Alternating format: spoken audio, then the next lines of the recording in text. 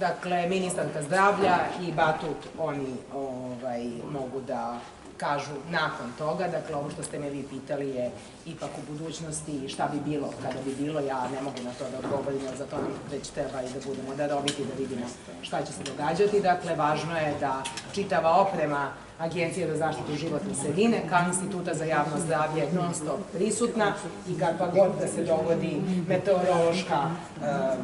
promena ili kako već to da se izrazim, a da ovaj, e, zvuči stručno, dakle, pratit ćemo i sata u sat kvalitet dakle, vode i vazduha, a zemljišta onog trenutka kada budemo mogli da priđemo lokaciji. Dakle, merna stanica će biti tu